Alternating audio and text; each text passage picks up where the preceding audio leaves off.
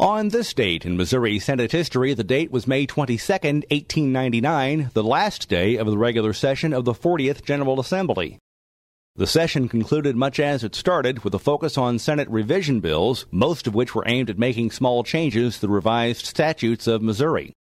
Keep in mind this is long before the legislature started meeting every year. Regular sessions were held on odd numbered years, and revision sessions were called when needed. After the final reading and signing of enrolled bills, a message from the governor was taken, and the Missouri Senate adjourned sine die, or without appointed date, for resumption.